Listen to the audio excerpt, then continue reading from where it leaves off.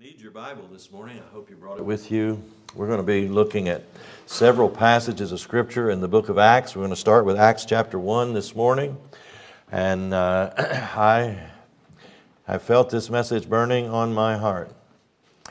And I trust the Lord will help us to deliver it in that same burning fashion. So, since we have so much scripture this morning to do, I'm not going to read my text first. We're going to pray for the message this morning one more time and then ask God to help us. We'll be beginning our study this morning in the book of Acts. I think a pastor's job is not only to preach and to do the work of an evangelist, but to teach and to train up and to disciple and to help us to completely understand. When Ezra preached out in the Old Testament, he had a pulpit, he had a platform, and I guess maybe that's where our our idea came from out of the book of Ezra, but he also he said he read the word of God and he gave the sense of it. He explained it to the people. That's going to be the, the mode this morning. Now, I'll be in and out of a preaching mode probably, but uh, I want you to, to bear with me, to stay with me this morning. Try to think with me and try to capture what uh, the Lord has given me this morning and what the Word of God is saying to us. The Word of God is speaking to us this morning. And it will if we'll give him ear. Just give him ear to let him speak to us, shall we? Father, we need your help. One more time, we're praying for the anointing of God to be upon us this morning. We want the blessing of the Lord more than we want anything else at all. We want the presence of God in our midst more than we want anything else at all this morning. Because it's your touch and it's your presence that makes all the difference. It's not by might, nor by power, nor by intellect, nor by human ability, but it's by my Spirit, saith the Lord of hosts this morning. We thank you for your word. It's inspired, it's, in, uh, it's inerrant, um, it's, uh, it's eternal this morning. Not one jot or one tittle will pass away till every word of it's fulfilled. We're glad we have it preserved for us this morning. In Jesus' name, help us to preach it. Amen. The subject of my lesson this morning and the recurring thought in every one of these passages is the phrase, in one accord. Twelve times in the book of Acts you'll find that phrase, in one accord. And we're going to look through six or seven of those passages where that's at this morning, the Lord helping us. If the time gets away, we'll just, we'll just stop somewhere and continue tonight. Uh, that's my mode of operation. I, I, I don't want to rush through it till we don't get what we need to get out of it. So in Acts chapter 1, in verse 14, actually, let's read verses 12 through 14. In Acts chapter 1, then returned they unto Jerusalem. This is after the ascension of Jesus. The first part deals with he's ascended back to heaven. The clouds have taken him up out of their midst. And it says, And they returned unto Jerusalem from the mount called Olivet, which is from Jerusalem a Sabbath day's journey. And when they had come in, they went up into an upper room where abode both Peter and James and John and Andrew, Philip and Thomas, Bartholomew and Matthew, James the son of Alphaeus, Simon Zelotes, and Judas the brother of James. These all continued with one accord in prayer and supplication with the women and Mary, the mother of Jesus, and with his brethren. Somehow or another, his brethren that were critical of him earlier in the Gospels have gotten saved. Isn't that amazing? Isn't that wonderful? And in those days, Peter stood up and, well, I'm going to stop with verse 14. They continued with one accord. Now, you're going to find that phrase over and over, and you're going to find that theme expressed over and over in the epistles. The matter of the church being one, the matter of the church being unanimous in what it's trying to do. And uh, I think this matter of unity has, there's, there's come to an idea just like perfection. People come to me, and the first thing they say is, Nobody's perfect. Maybe you said that. Well, your argument's not with me, your argument's with God. because God called two or three people in the word perfect. But this thing of unity today, this thing of coming together in one mind and one accord, I believe we've kind of adopted a similar philosophy. There's, it's not possible. Because no two people see two things alike. Friend, that is absolutely the fact. We don't see everything exactly alike, but we can see the main thing and put everything else aside. And that's evidently what happened here in the upper room. These people, 120 of them we know, were gathered together for a 10 day, and they didn't know when it started how long it was going to be. They didn't have any idea how, they were going to, how long they were going to be there. Jesus told them to tarry until the Holy Spirit is poured out upon you. The promise of the Father is coming. You just go and pray and wait for it. Praise God for that. Are we willing to just get the mind of God and get the voice of God and then just stay at the job until something happens? until God fulfills what He wants to do in us. Uh, we, we give up too quickly today. I'm so glad these 120 didn't give up, but I, I, can almost imagine, and I've been in prayer meetings, and I've been in times where the Spirit has begun to bring people together for a common purpose and for revival. And friend, we can find that in those prayer meetings and in those times where you're seeking God to move in a mighty way, then God, the Holy Ghost, begins to shed light into your heart. And the Holy Ghost begins to reveal things to you that are areas of your life that you need to correct or you need to change or you need to, to adapt some different uh, mode of approach. And I can imagine that in this 10 day prayer meeting, there were confessions and there were, there were apologies and there were things of humility where the, one of the brethren, maybe James and John, said, you know, fellas, we, we, were, we were carnal, we were, we, were, uh, we were selfish, we wanted to sit at his right hand and his left hand, and we even sought those positions from Jesus. Forgive us, brethren, forgive us. Let us, let us not care who's first and who's second and who's third and who holds this seat and who holds that seat. Let's just see God move. Could you imagine something like that going on in that prayer meeting? Where they begin to humble themselves and confessions were made. They begin to apologize and they begin to, to uh, make amends if they needed to make amends because I believe, friend, before we can ever get in one accord with the Holy Spirit, we're going to have to be right with God. I mean, thoroughly, 100% right with God. That means that every sin that we've committed is under the blood of Jesus. I mean, every one. And that means also, friend, that there is a clearness on the horizontal plane. That we've done everything in our power to, to make amends or to, to reconcile with someone who's offended us or maybe someone we've offended. We've apologized. We've took our part of the blame. And friend, I just believe in taking your part. I'm sorry. I don't believe in taking the blame for somebody else. I believe that's lying. And I know preachers that will tell you, you just take the blame, you just assume all the responsibility in the cause of peace. And me, in my mind, that's lying. But I'm going to take my part of the blame, aren't you? I'm going to take what I'm responsible for, and I'm going to beg your forgiveness if I've offended you, if I've wronged you, if I've some way uh, upset you against me. I want to, I want to beg your forgiveness. I want everything clear. The Bible says, as much as lieth within you, live peaceably with all men. Doesn't that what it say? And doesn't Hebrews 12, 14, our great holiness text, doesn't it say first follow peace with all men? Doesn't it say be reconciled, be one to another? If your brother has aught against you, go to your brother and talk to him. Friend, I believe this is what happened to get in one accord. And getting in one accord had some really phenomenal uh, uh, dynamics to it, as we're going to see. But in order for this group of people, 120 of them, to get in one mind and one accord, that's impossible. There's no 120 people you can get together. Friend, my Bible says they were in one accord. Now you'll have to take up your argument with God because it says here these 120 people were in one accord. They were unanimous about what they were there for, and everything else was laid aside. Everything else was put aside because Jesus had told them to tarry until the Holy Spirit be given to you, until you be endued with power from on high. Friend, and that's where we are today. That's our great need today. That is the lack of the church today, is Holy Ghost power. I'm not getting many amens yet, but I'll, I'll get my own cards out. I can say it myself. Amen. That's right. I can.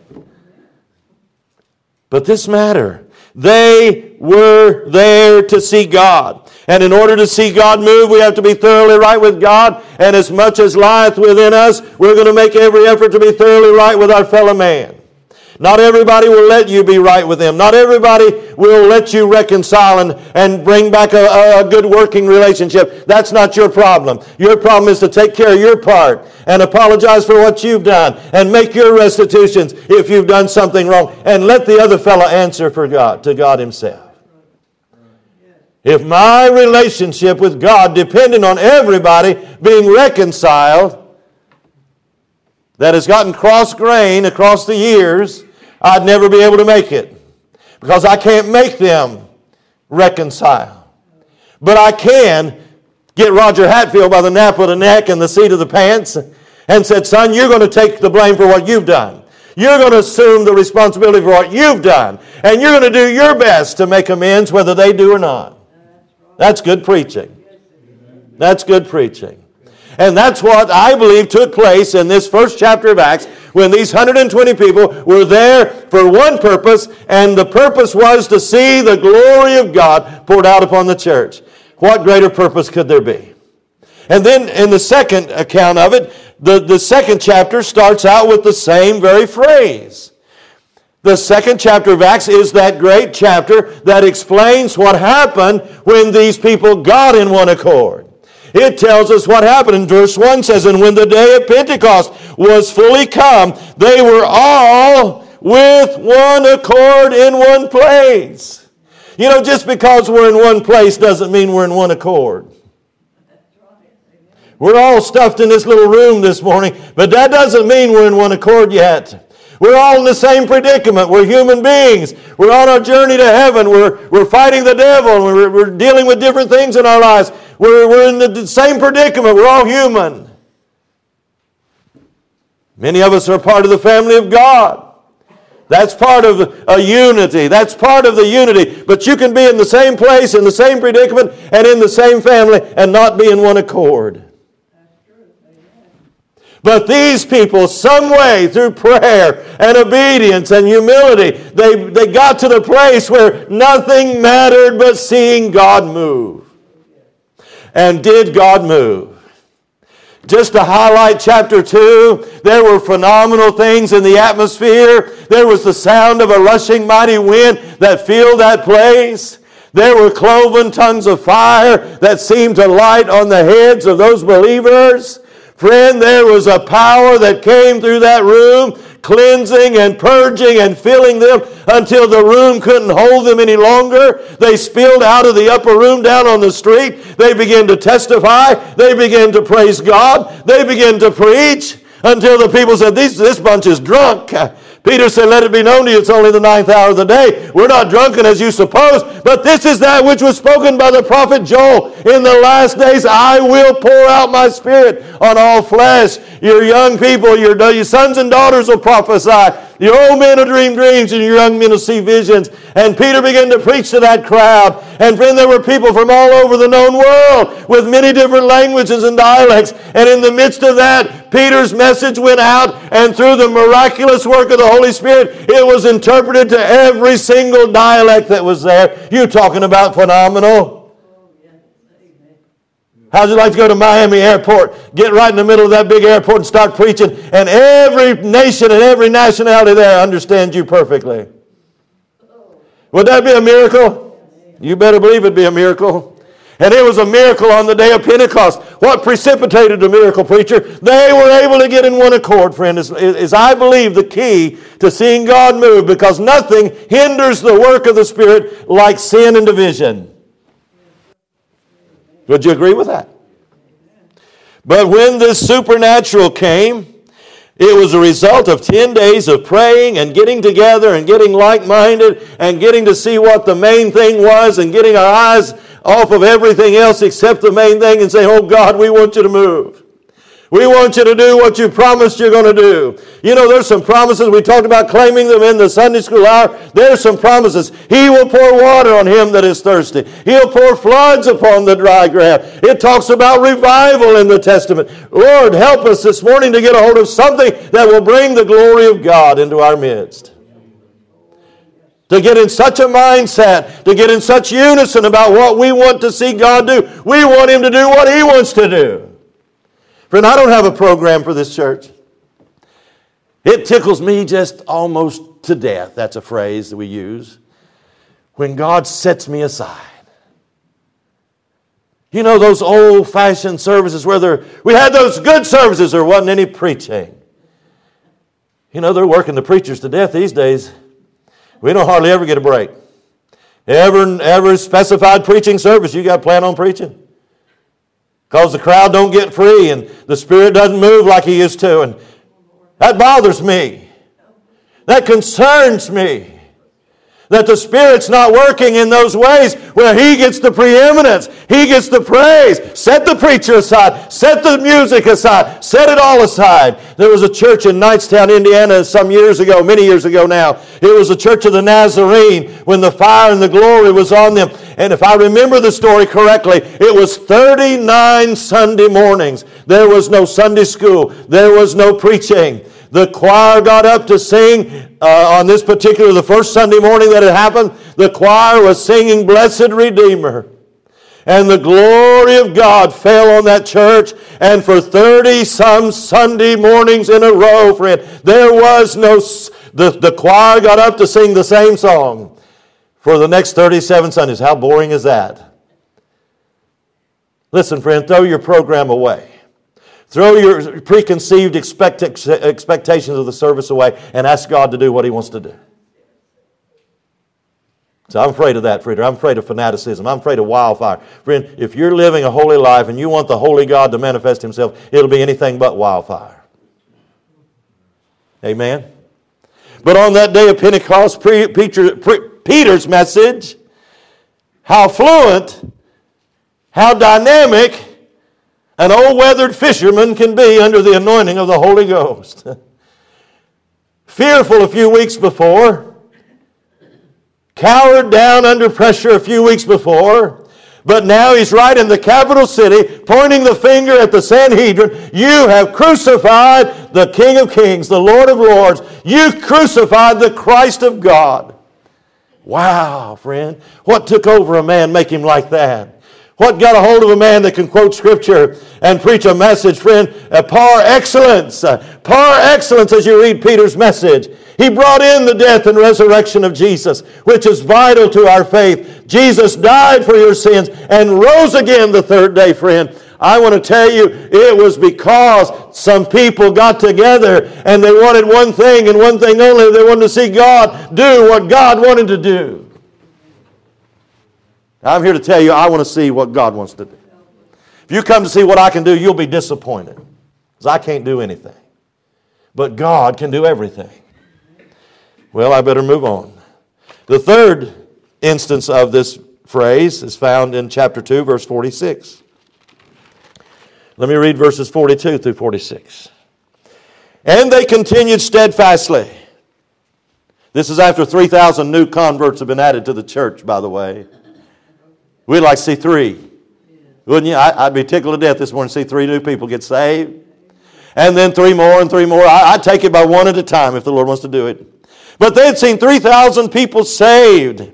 Verse 42 And they, the, the believers, continued steadfastly in the apostles' doctrine and fellowship, in breaking of bread and in prayers, and fear came upon every soul. And many wonders and signs were were done by the apostles, and all that believed had, uh, were together and had all things common, and sold their possessions and goods, and parted them to all men as every man had need. And they, continuing daily with one accord in the temple, breaking bread from house to house, did eat their meat with gladness and singleness of heart, praising God and having favor with all the people. And the Lord added to the church daily such as should be saved. You notice what's happening here, friend? These disciples were enjoying pure Christian fellowship. They were getting together, breaking bread. They were going from house to house, having cottage prayer meetings. Have you ever been in a cottage prayer meeting? How long has it been? Friend, we used to have cottage prayer meetings. I can remember going to the house of the superintendent of schools in McDowell County, West Virginia. His wife was an Allegheny uh, godly lady. This man wasn't saved. She invited our little church to their house for a cottage prayer meeting. And we went in and sang and testified and preached to the superintendent of schools. I tell you, When God is working and God is moving, things begin to happen. And they're, they're having all things common. And I, there wasn't any selfishness in the church. Brother, you have a need, I can help out. Sister, you have a need, we can meet that need. We can help you with that. I mean, there was an unselfishness about this crowd. They had gotten a hold of something that had taken all the self out of them, taken all the stinginess out of them. Here they are. They're, they're, they're walking in the light. And this is what I want to get to right now. They were there walking in the light. They continued steadfastly in the apostles' doctrine. Friend, they were as a strict obedience to the word that was preached unto them. And I am so glad for what our brother said in Sunday school this morning. We've come to the idea that this is a spiritual smorgasbord and that preachers are fallible, and yes, they are. But I want to tell you, friend, God calls preachers to preach the word, and if the word's being preached, it's incumbent on you to walk in the light of it. I mean, if it doesn't matter what I say, then send me on up the road.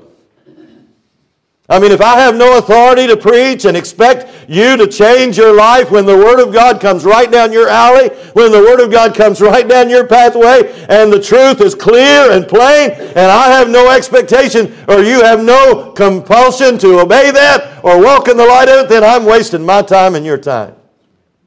Preachers are just a waste of time. Just do what you want to do anyway. Wow, preacher. Friend, they got in one accord. They experienced the power of God. And that power of God in that revival atmosphere said, We want the truth. Pour it on us, preacher. How long has it been since you heard that phrase from the congregation? Pour it on us, preacher. Give it to us straight. We can take it, preacher. Wow. I want to know my worst estate now, friend. I mean, I'm going to pass an exam one day. I'm going to stand and take my finals at the judgment bar of God. I want to know what God's going to expect of me. I want to know where I am with God when I stand there. And it's up to the preachers to preach the word.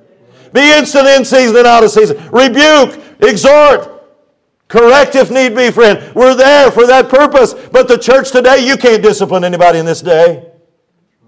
If you approach someone about their situation, they'll just quit and go down to the road to the next church, and they'll put them in as a Sunday school teacher or something else.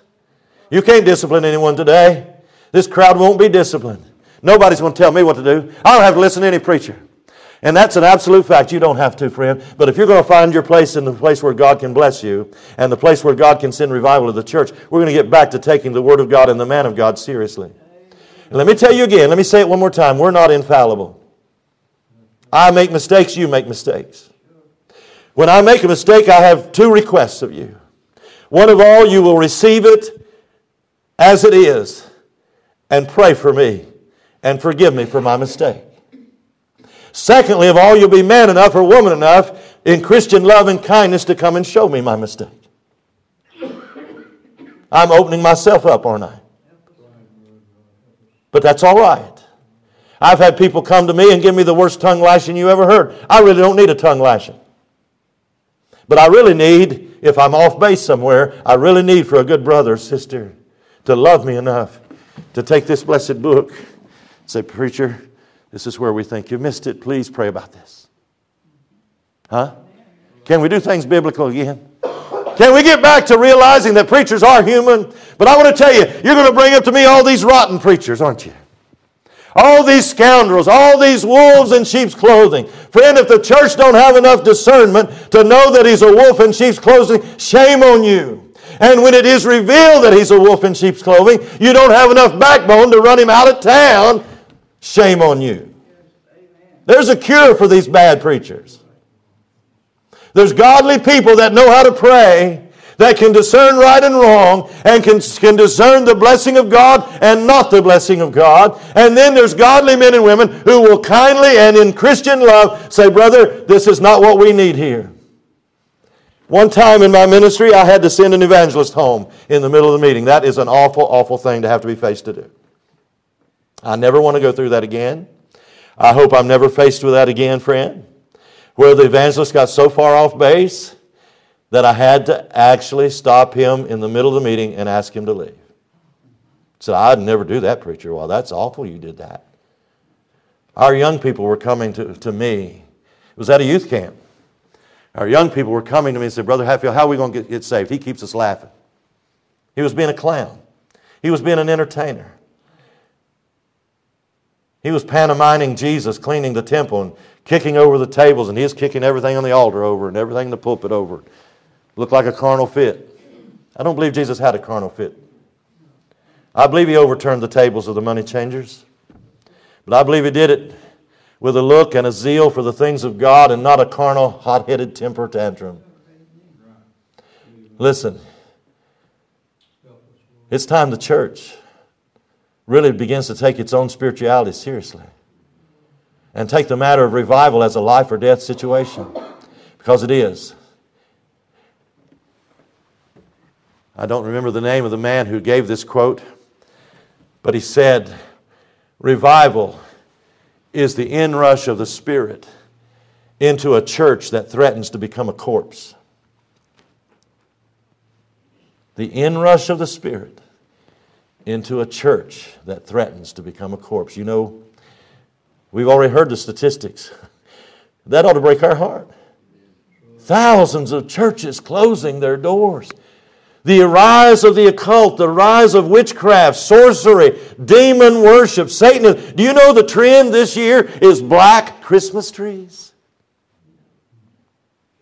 Absolutely. That has risen over the last few years. There's been an exponential growth in people who are looking for black Christmas trees. And the photo that Fox News put in their news column, the lady that was decorating it had Satan is my daddy written on her t shirt. In America, friend. In America. It's on the rise. Why is it on the rise? Because the gospel light and the power of the Holy Ghost is not being manifested in the churches. We're not doing our job. We're not getting to the place where God can use us and pour out His blessing upon us because, number one, many are not right with God. Number two, they're cross grained with their fellow man.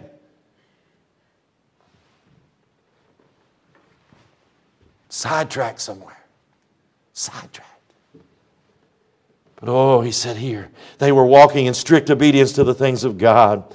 God calls pastors and evangelists to preach his word, expecting that his church will walk in the light of those messages. And again, please, the disclaimer is if we get it wrong, please show us where it's wrong. Okay? Disciples were enjoying the fellowship. And that's a, a vital component. But they were spending time together collectively in prayer. It says that, that they came together and they were breaking bread and in prayer. They were spending time seeking the face of God together. It wasn't all just fun, food, and fellowship. I think Christians need to get together for some fun, food, and fellowship once in a while. But I also think we need to get together sometimes just, just to seek God. Don't you? Don't you think we all just get together sometime, Brother Hatfield? I'd just like you to come over this evening. I'd just like us to have a good prayer meeting. And listen, you don't have, if you want the pastor to come visit you on any kind of spiritual or, or pastoral role, you don't have to feed me every time. It'd be better for me if you didn't. I'm saying that from a physical weight standpoint. It'd be better for me if we didn't eat every time we came. I enjoy eating, and I, am a social eater. If you offer me a piece of cake, I'll probably eat it. To my own hurt sometimes, maybe. But listen, I don't want to offend you. But I tell you, there ought to be some times when the church, like the early church, they come together, friend. They come together for prayer. They come together to break bread and have communion and remember the birth, the death and resurrection and the broken body of Jesus and the blood that was shed. They come together to break bread together, to celebrate the communion and the Lord's Supper. Well, the clock's going to whip me on this. I'm not going to get to it all. But in chapter 4 and verse 20, 23 through 31. These are what happened. This is what happened when the church got in one accord. Verse 23 of chapter 4. And being let go, they went to their own company. Now, ahead of that, to give you the context, they've just been threatened for preaching. They've just been warned they're going to be put in jail if they don't stop doing what they're going to do. In verse 23, it says, And being let go, they went to their own company and reported all the chief priests had said unto them.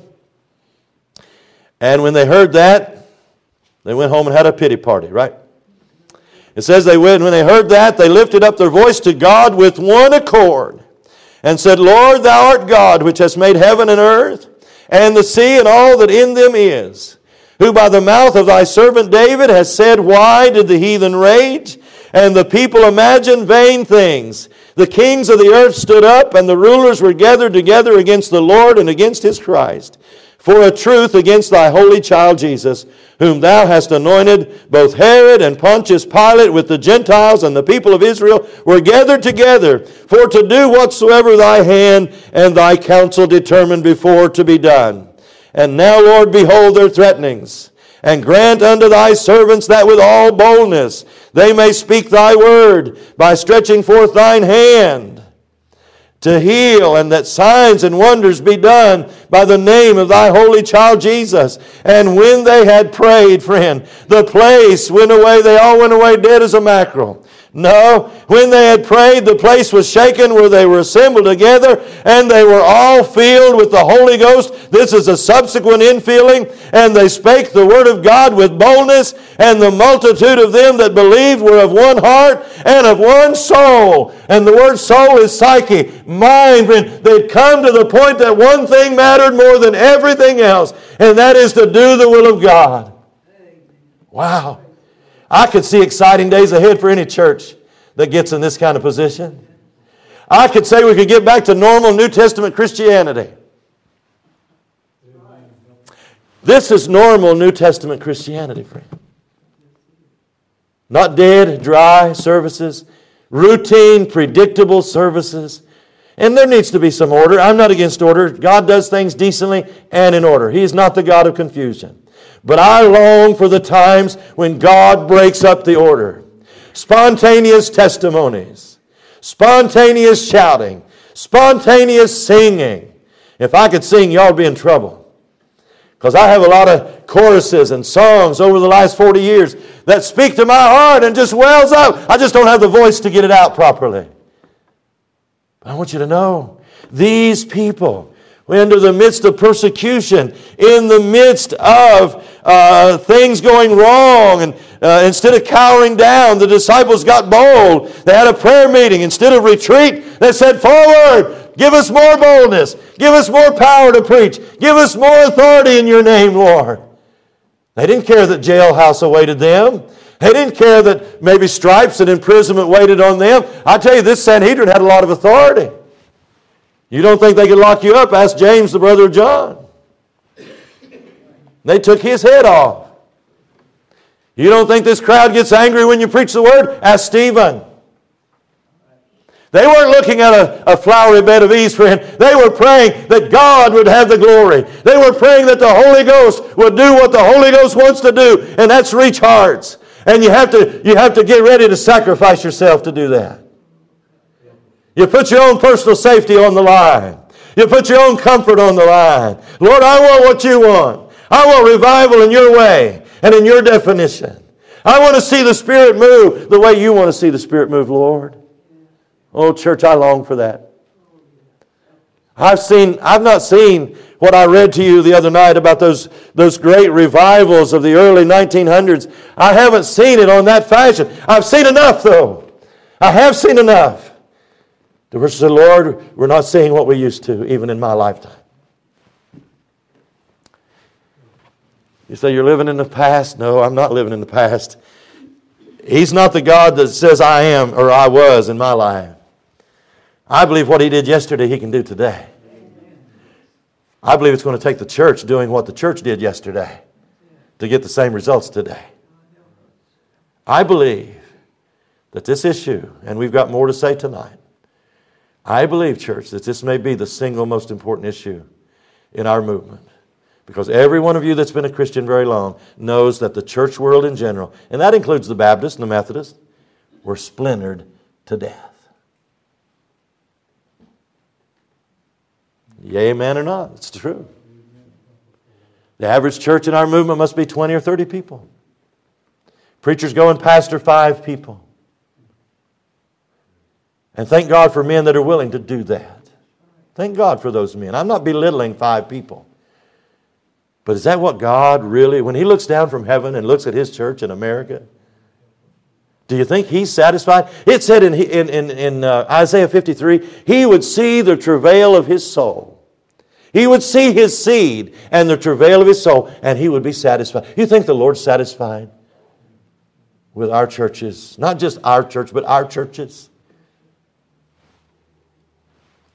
I tell you, friend, these people weren't willing to stay quiet about it. They weren't willing to accept the status quo. They weren't willing to go into hiding in order to be Christians. They said, Lord, give us more boldness, and the place was shaken. The very building they were in shook, friend. And the Holy Ghost and power stepped in into that place, and they had a topping off of their spiritual experience. The Holy Spirit refilled them. And there might have been some new converts there that were filled the first time. It could have been a joint thing, but I believe some of those, the, and I do believe that you and I need a subsequent infilling once in a while. A fresh anointing, a fresh infilling of God's power and presence, because spiritual fire has a tendency to go out. If you don't keep it fanned, fanned and keep some fuel on the fire, keep some fresh wind and some fresh fire coming down, friend, it'll go out.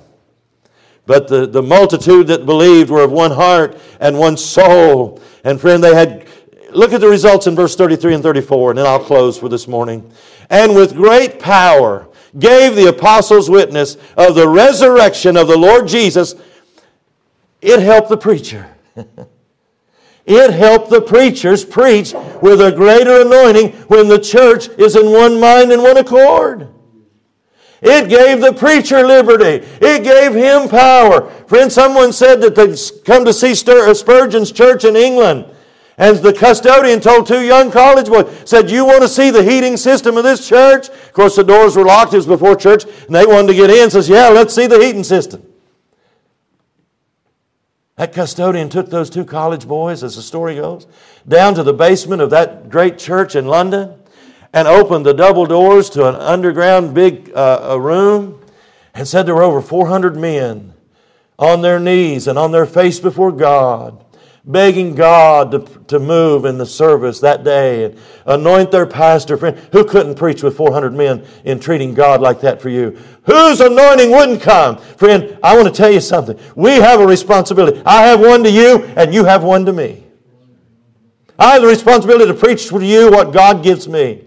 You have the responsibility to pray for me and pray that the Spirit will move in such a way that it, the anointing will come, the conviction will come, the power of God will be here. We have a responsibility together to see God move. And great power was upon the apostles, and great grace was upon the church. Wouldn't you like to see great power and great grace working in our church? Oh, I'm glad for what measure of grace I have, preacher. I am too, friend. But there's something about great grace that excites me a little bit.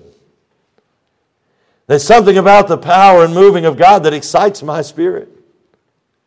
These people were there not to cower down, not to bemoan their circumstances, not to tell God how bad it was and how pitiful they were. They were being mistreated. I don't read any of that. What I see, Lord, is we we, we want you to have the preeminence, Jesus, because his crucifixion and death were fresh in their minds. He gave all for you, friend. What are you giving for him? Can we lay aside our differences, come together, reconcile in the grace of God? That'd be wonderful. If there's any, if there's any things that's cross grained between anybody in this building, I urge you to get it fixed. If there's any unfinished business in your soul, if there's not a clear witness in your heart that Jesus lives there and that every sin is under the blood and you're walking with joy in every ray of light, friend, you've got business to take care of. The altar's open. Because revival's not coming until the church gets thoroughly right with God and thoroughly right with one another. And then they will have that oneness they will have that unity and they will have that singleness of vision. You know, we've got so many things on the burner. Some fellow said, I got so many irons in the fire, can't get none of them hot. That's pretty much the case in America, isn't it? We've got so much going, we can't get anything hot. But I think we better start taking time to put Him first and seeking Him in such a way. So, Lord, I want you to do for us what you want to do. Lay my prejudices aside, lay my preconceived ideas of how you're going to do it. It's one of the biggest things that hinders people in Christian work is preconceived ideas. What you think God's going to do. You're like old Naaman. I thought he would come and look up to heaven and pray some flowery prayer and slap his hand over the leprosy and it'd be some great demonstration of the prophet's ability. He didn't even step outside the door.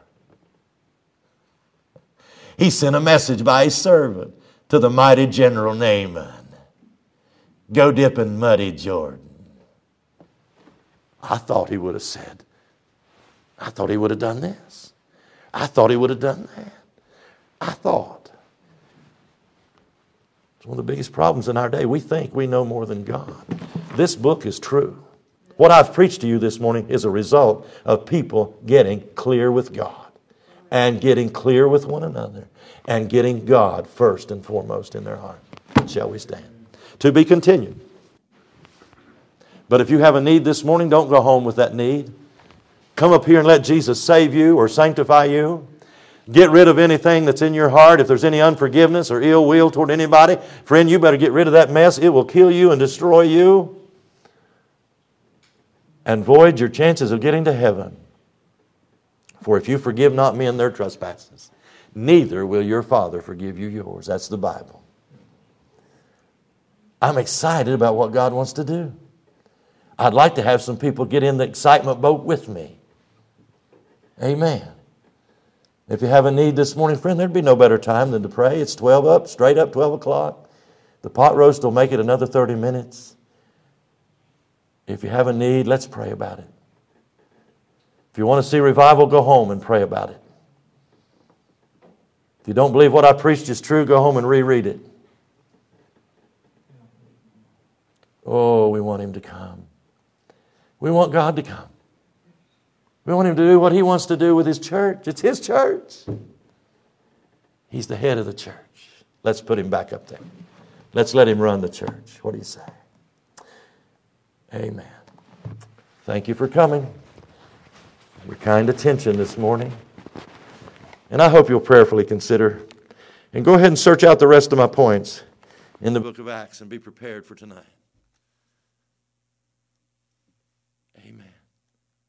Sister Dyer, would you dismiss us in prayer, please? Sister G.